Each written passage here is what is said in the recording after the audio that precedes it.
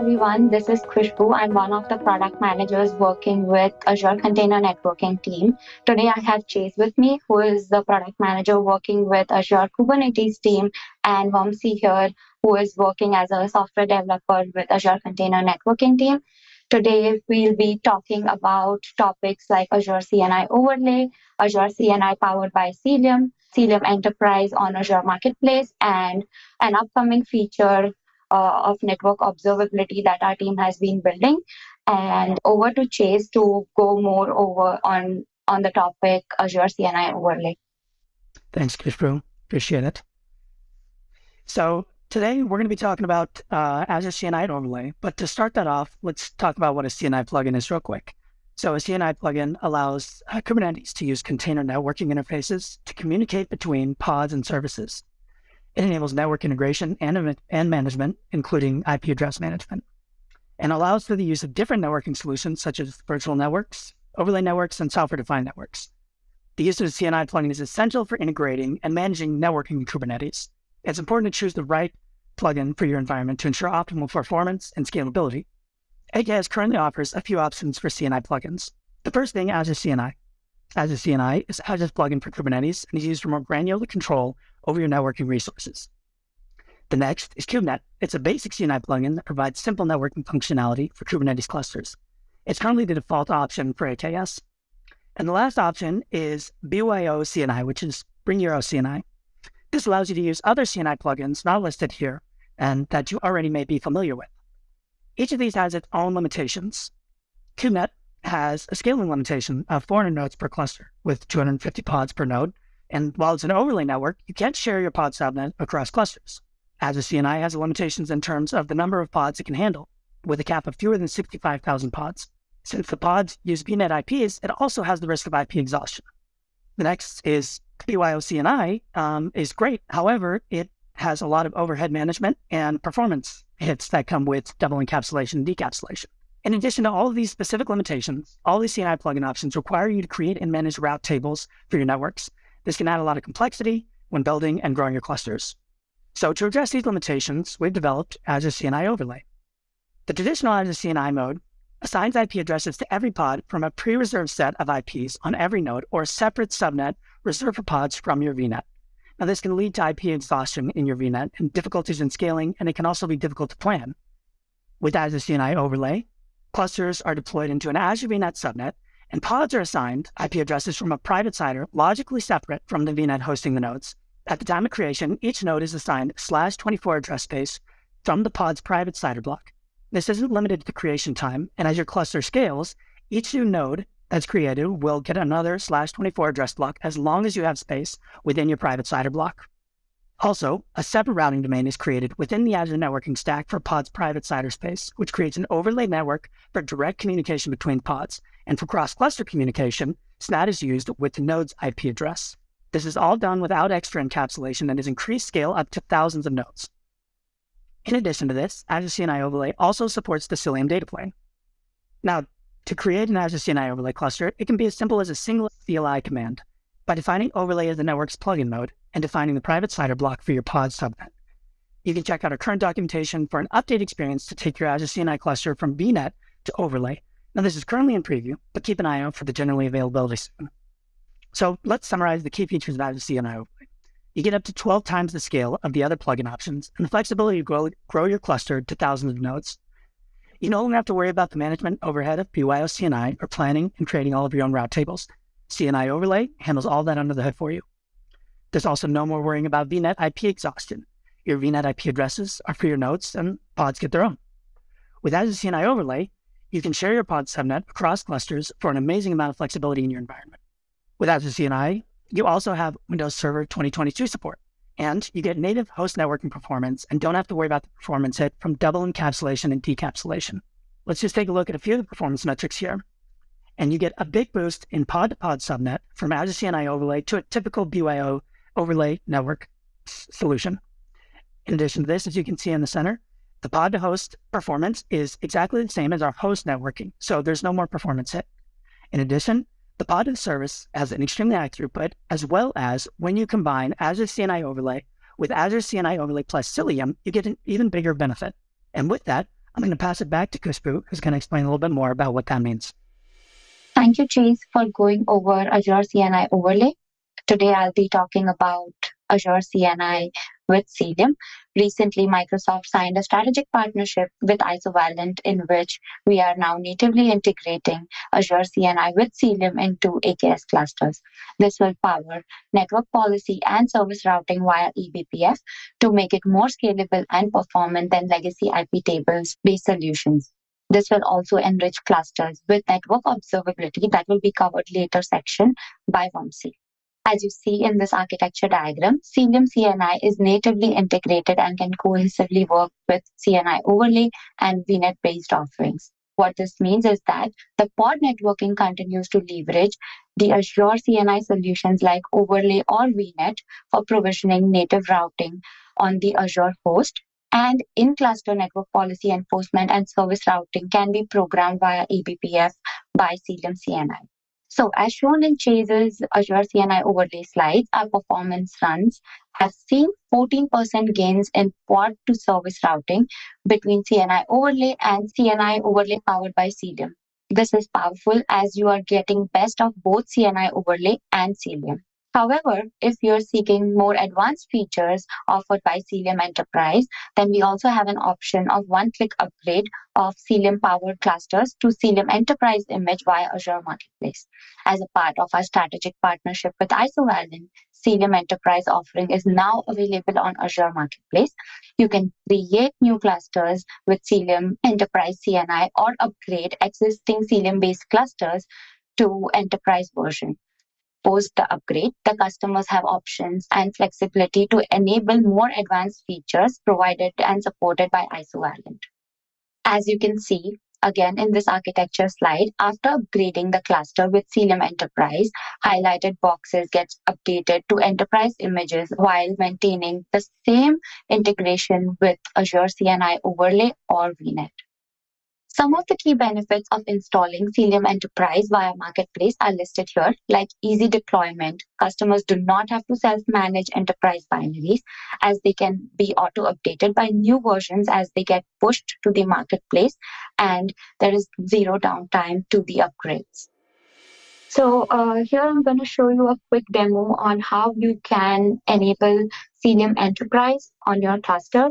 So to begin with, uh, as a first step, you need to create a cluster with the network data plane set to Cilium. I have already set up a cluster uh, since it takes a lot of time to uh, set one up. Uh, my cluster is ready. Now that I have the cluster created, I'm quickly going to check for the Cilium status on the cluster.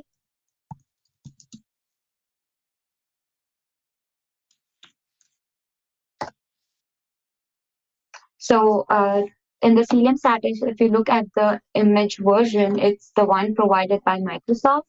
But to enable and use the uh, extensive features of Cilium, uh, you would want to upgrade it to the enterprise version. And to do that, you first need to go to the portal and look for Marketplace. And then look for Cilium.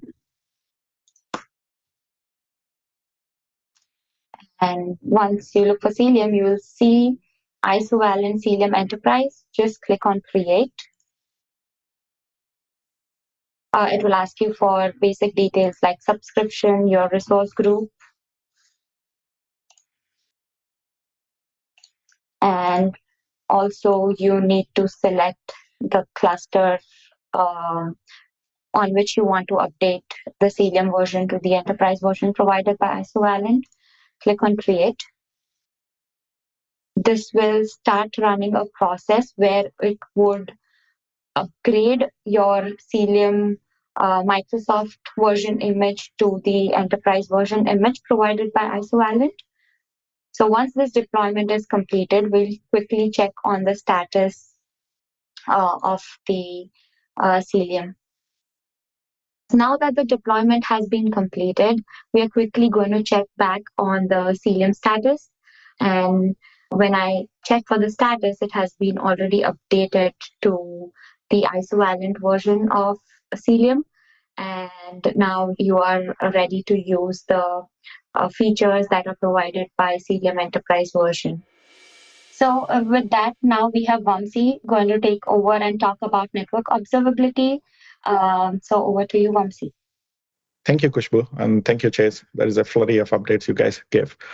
With that, I want to introduce uh, you guys to network observability. So this is a new feature we have been working to cover some of this lacking uh, functionality in non-Cilium workloads. Uh, as containerized environments continue to grow in complexity, it can be challenging to identify the root cause of networking issues in a given cluster. So intermittent failures can be particularly frustrating, and then gaining visibility into a networking stack can be really daunting for an engineer. So many organizations are struggling to find effective solutions to these problems. So that's where network observability add-on comes into picture. So network observability helps to gain insight into networking infrastructure uh, by collecting real-time data points using eBPF in Linux and existing components in Windows. Then the add-on is going to convert these data points into common set of Prometheus metrics, which are then scraped by self-managed Prometheus servers and our Azure managed Prometheus. With the help of network observability coupled with Azure Managed Prometheus and Azure Managed Grafana, you can quickly visualize all your cluster's network performance under one single pane of glass with historical context. So this was not present before. So it's going to help all the uh, DevOps engineers and uh, engineers who are managing uh, large clusters or small clusters for that matter, like a, a whole new set of tool set. So as I was uh, speaking earlier, so this is very easy, uh, on-demand, configurable, easy to enable and disable. We are leveraging open source, existing open source tools to build this network observability add-on with the power of uh, managed Prometheus and Grafana, we are uh, providing historical context and then multi-cluster view, etc., etc. The good thing is this add-on currently supports both Linux and Windows. So here, let me show you uh, what a dashboard would look like, and then we can go into a demo. So this is a quick view of dashboard. So currently we are supporting node level metrics and pod level metrics are going to come soon in the later part of this year. And then that is going to be even more granular, even more in-depth view of what is going on in your cluster. So with that, let me show you a quick demo. So here I have a resource group and it has an AKS cluster deployed. This AKS cluster has Azure Managed Prometheus enabled on it. This Azure Managed Prometheus add-on pods are scraping the uh, network observability data and then they are sending the data to Azure Monitor Workspace in native Prometheus format. And then this managed Grafana dashboard is now using this Azure Monitor Workspace as the data source to visualize all the data. So now if we can quickly open this Grafana dashboard, which I already did here, and then here is the dashboard for viewing all the network observability add-on metrics. So you can see that our data source is that same demo managed Prometheus as the data source. So as I was telling you earlier, you can see all the clusters and all the nodes at the moment. So this is the multi-cluster view we were talking about. Currently, this network observability add-on does metrics at a node level, which means that all the data points, everything are aggregated under a node aspect, node labels. And later on, later part of the year, we will have pod level wherein the user can define like the granularity, like do they want it by service, do they want it by pod name, etc., etc. And then we will see all those are dashboard here too. But coming back to this node level metrics, you can see we have so the very basic traffic stats to quickly see how is it going on this on an aggregation of all the clusters or by cluster, how you want to say it. Drop stats has been particularly very frustrating for a lot of engineers because it is very hard to identify where the traffic is going, how is it getting dropped. So within a given VM, the network observability add-on uses eBPF in Linux and existing tools in Windows to find out, okay, what could be the reason for a drop? So here you can see we have some drops of ACL rules, endpoint rules, IP table rule drops, right, which is particularly problematic. And then if any other TCP functions have also dropped some packets, so we get to know. We are also adding a lot more drop types and drop reasons as we go further in development process.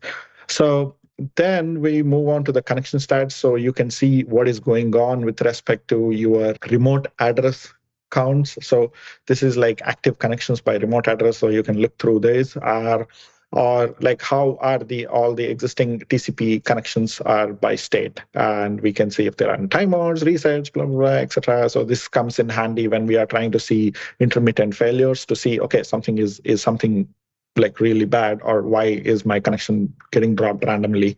At the bottom we have the interface stats to see if everything is fine and everything is going good. Um, by because with accelerated networking support there are multiple different metrics. We can see if the actual physical nic attached to the vm is doing fine. So uh, yeah so this is a quick demo of what is coming with network observability. We will be coming soon with this feature in next month that's the quick demo of network observability feature. Thank you. Uh, with that, Khushbu, take it over. Thank you, Chase and Vamsi, uh, for uh, doing a presentation. And we are having network observability feature that's going to be come up, coming up soon. And you're going to see those updates on our Azure blogs and announcements. Thank you for watching the video and hope you enjoy the session. Uh, to learn more, you can always go and read more about it on our Azure uh, documentation. Thank you.